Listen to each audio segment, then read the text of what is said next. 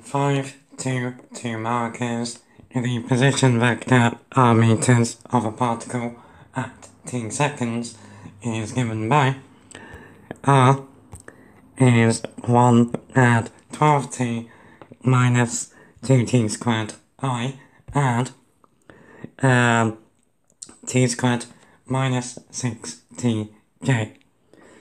Part 1 answers to find an expression for the velocity of the particle at time t. Okay, so velocity, even when we're in vectors,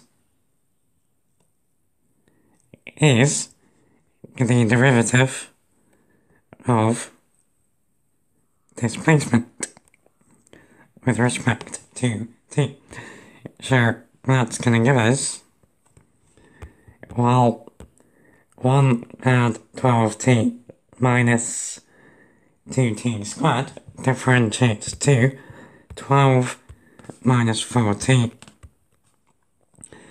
So we got 12 minus 4t i add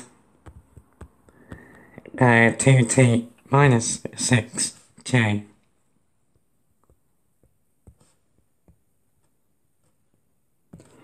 So that is the velocity vector.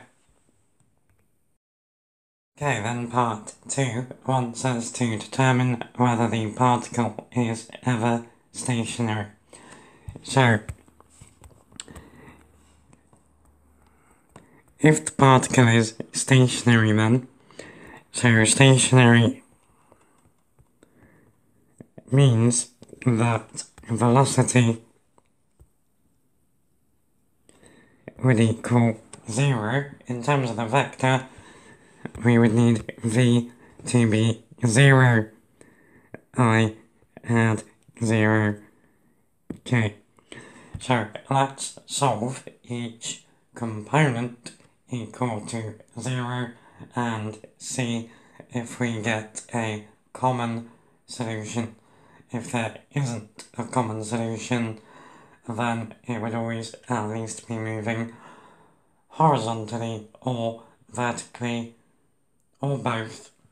But if there is a common solution then at that time there would be no horizontal movement and no vertical movement. So 12